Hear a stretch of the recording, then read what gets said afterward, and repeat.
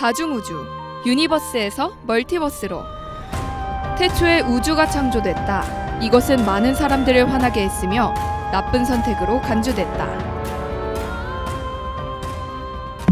1.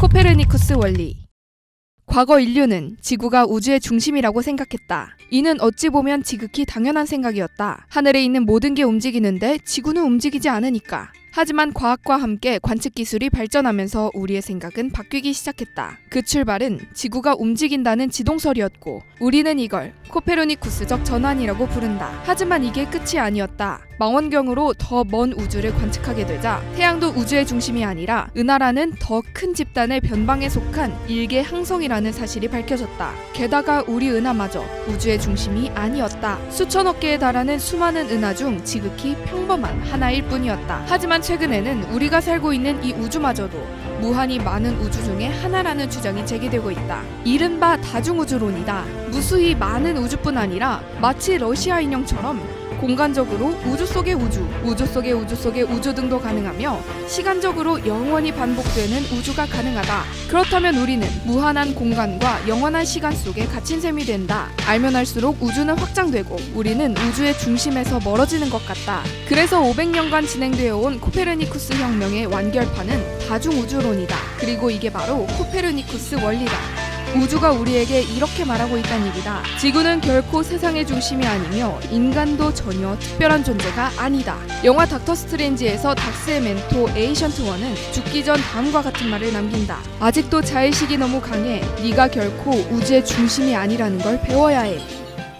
2. 인류 원리 나는 생각한다. 고로 공간은 3차원이고 시간은 1차원이다. 이것이 인류 원리다. 어째서 공간은 3차원이고 시간은 1차원인지 그 이유를 물었다고 하자. 그리고 시공이 이런 방식이 아니라면 인간은 존재할 수 없다고 하자. 그러면 이런 생각을 하는 내가 존재한다는 사실이 바로 공간이 3차원이고 시간이 1차원인 근거가 된다. 인류 원리는 과거 케플러의 질문에서 시작됐다. 지구와 태양은 어째서 딱 이만큼 떨어져 있을까? 케플러는 여러 가지 방법으로 그 이유를 찾았지만 실패했다. 애당초 잘못된 질문이었기 때문이다. 이것은 이렇게 묻는 것과도 같다. 왜 하필 우리 집은 학교에서 딱 이만큼 떨어져 있지? 우주에는 엄청나게 많은 별과 행성이 있다. 따라서 딱 이만큼 떨어져 있는 행성은 항상 존재한다. 케플러 질문의 최신 버전은 다음과 같다. 왜 우주는 생명의 탄생을 위해 고도로 미세 조정된 것처럼 보이는가? 노벨상 수상자 스티븐 와인버그는 그 중에서도 우주상수라는 것에 주목했다. 그는 1987년 논문에서 다음과 같이 썼다. 우주상수는 우리의 존재를 허용할 정도로 작아야 하지만 지나칠 정도로 작지는 않다. 앞으로 더욱 정밀한 관측을 시도하면 우주상수는 0이 아니며 내가 계산한 값 근처 이미 판명날 것이다. 우주상수란 공간 자체에 균일한 에너지를 부여하는 값으로서 암흑 에너지의 가장 강력한 후보 중 하나다. 이 에너지가 우주 공간에 보이지 않는 안개처럼 가득 차 있다면 이것은 청력, 즉 밀어내는 중력으로 작용할 수 있다. 그래서 우주상수가 양이면 우주의 팽창이 가속되고 반대로 음이면 우주가 팽창을 멈추고 중력 수축을 시작하게 된다. 우주가 지나치게 빠르게 팽창하면 애초에 별이나 은하 따위가 만들어질 수 없고 반대로 우주가 팽창했 다 지나치게 빠르게 수축을 시작해도 생명이 탄생할 시간 자체가 부족해진다. 따라서 우주에 생명이 존재하려면 우주 상수는 아주 작은 값의 범위 내에 있어야 한다. 그런데 1990년대 실제로 관측된 우주 상수는 다음과 같았다. 0.00000 이렇게 0이 122개 붙고 138 우주상수는 우리의 존재를 허용할 정도로 작아야 한다 라는 와인버그의 예언이 적중했던 것이다. 와인버그는 인간이 존재한다는 사실만으로 우주상수 값을 예측했고 우주는 정말로 생명의 탄생을 위해 극도로 미세 조정된 것처럼 보였다. 인류 원리라는 말을 처음 사용한 호주의 물리학자 브랜든 카터는 코페르니쿠스 원리는 인정하지만 그럼에도 불구하고 인간이 우주에서 중요한 역할을 할 수 있다고 했다. 바로 관측의 역할이다. 우주에서의 우리 위치가 관찰자로서 특권적일 필요가 있다는 것이다. 코페르니쿠스 원리로 한없이 쪼그라든 인간의 자존심이 인류 원리로 복권되는 순간일까? 3. From Universe to Multiverse 우리가 우주 안에 있듯 우리 안에 우주가 있다.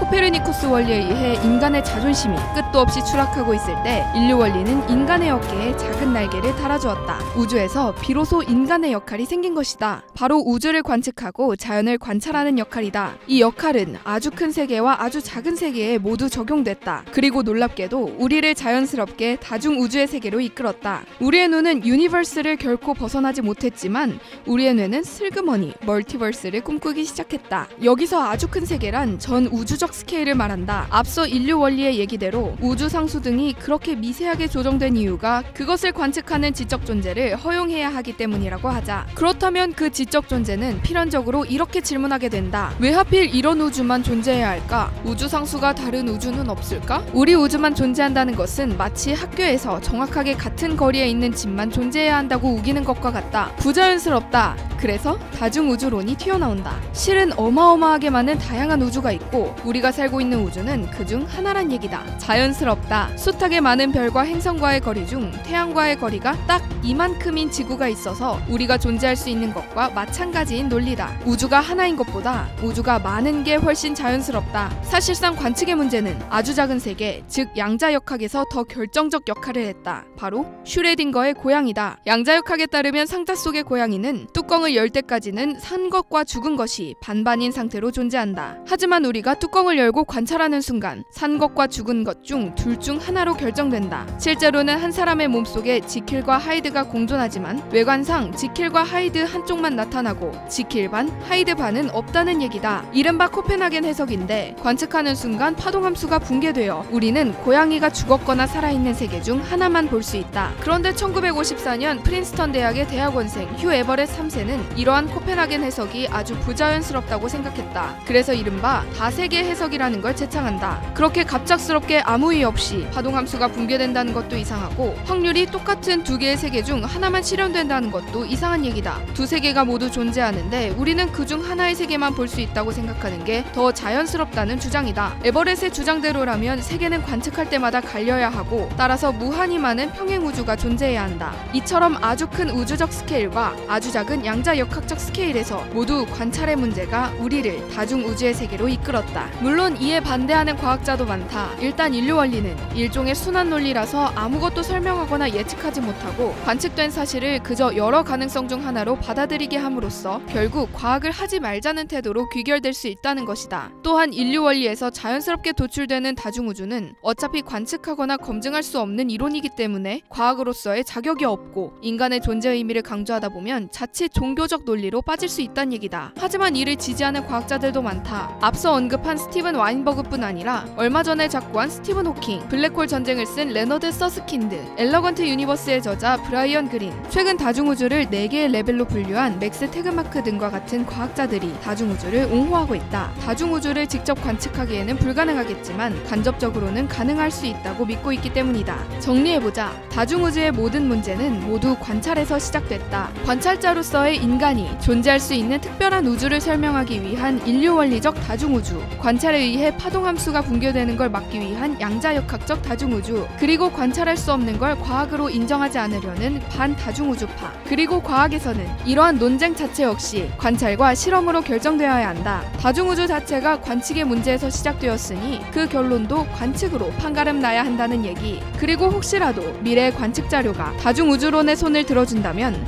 우리는 자연스럽게 다음과 같은 질문에 봉착할 수밖에 없게 된다. 이 광활한 다중우주에서 너는 어떤 존재지?